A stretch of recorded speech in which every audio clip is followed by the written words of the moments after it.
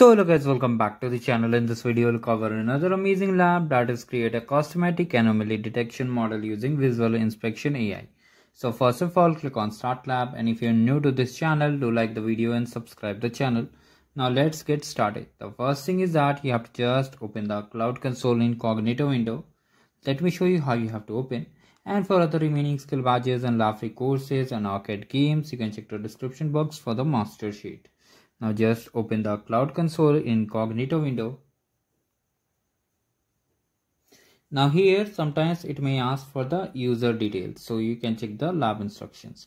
Now wait for this to complete and here basically you have to just click on I agree and then click on I understand and then agree and continue. And if you're not getting any kind of pop-up then no need to worry. Just activate the Cloud Shell and just follow along with me you will be able to complete the lab without any issue. Just click on it. Let me show you how you have to activate the Cloud Shell. Click on here and here another pop-up will come like you have to click on continue and authorize yourself. So just do it as I am doing, right? You have to just do it as I am doing.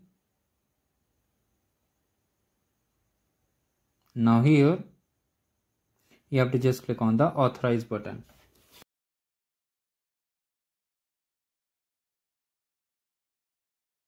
Now come to the lab instructions, wait for a few seconds. Now here, if you want to increase the font size, you can increase it. Now here basically come to the task number one. Here you can see we have to enable the visual inspection AI API and we have to create a data set. So you can see here. So this task will be done in the console itself. Okay. So just copy the AI API. Here are two methods on how you can enable the API. I will show you one method over here. And if so just come over the navigation menu and here you can just use it like this or you can just type on the search box virtual inspection. I will show you both methods one in this video and another in next video. So just come over here. You can see here we have to just use the cloud shell also. So you should avoid closing the cloud shell now just type on the search box and just open it like this. Now here first thing is that. Now first thing is that you have to just click on enable visual inspection ai api just click on this button okay.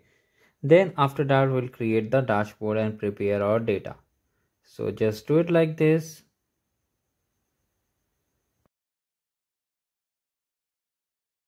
It will take some time so wait for it so finally here you can see the IPA has been successfully enabled. Now our time is for create a dataset. So for the dataset name and objective type, you can come back to the lab instruction and check it carefully.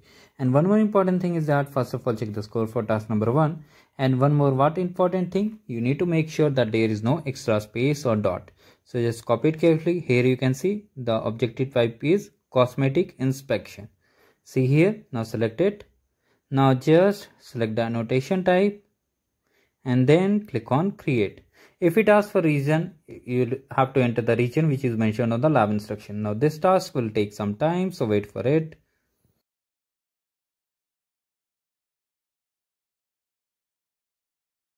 Basically, it will take 5 to 10 minutes, sometimes even more. So you need to wait for the dataset to get created. After that, we'll move forward to the next step of this lab.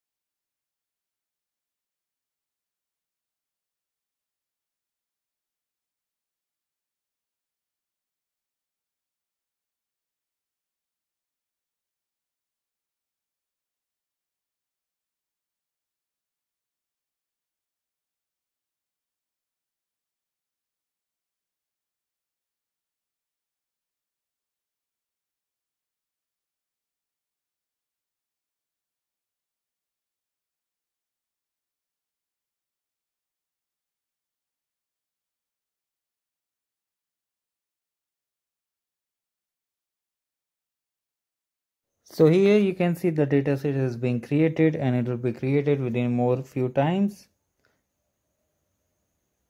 So finally the dataset has been created. Now you have to export the result.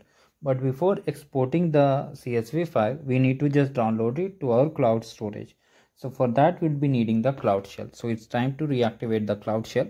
You have to just use this button. If you haven't activated it you have to just activate it like I have done previously. Now just come over here and just copy this command and run on your cloud shell. So just paste over it like this. And it's done. If you get any kind of error you can just come to the above also and just run the commands from task number 2 one by one. Okay. Now once all these things are done you have to just come over here and just export basically import the file like this. So just select it and just click on continue now it will take some time again and after that what we have to do we have to just create a defect type also. So even if you don't create a defect type and if you get 100 out of 100 you can end the lab without any issue. You can just check the score after importing the lab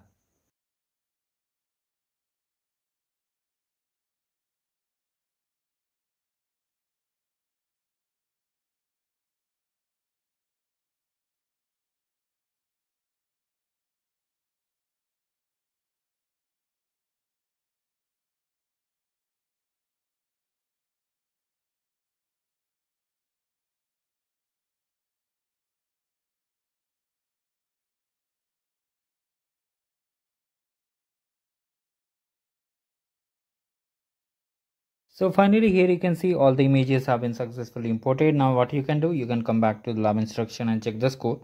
Now here, if you check the score, you'll get the score without any issue. Look, here you can see we have got 100 out of 100. Now if you want to continue more in the lab, so let's continue it. From here, you have to just click on the create. You can see in the defects section, you have to just come down over here and here you can see filter. Click on find defects and just create a new defect like this. I repeat if you have got 100 out of 100 you can see we have got it. So you can end the lab if you want but I'm continuing the video for this part also if they add the any task on this particular task also. Now we have to create another defect. Okay.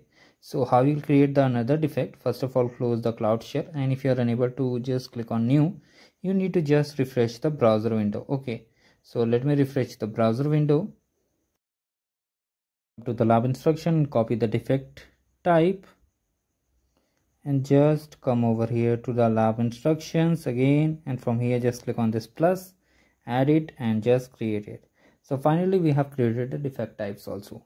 Now here you can see there is no check my progress in the particular task and we have already got the score on the previous task also and we have got 100 out of 100 so now we can end the lab. If you face any issue you can check me sorry connect with me in the comment section. That's all about this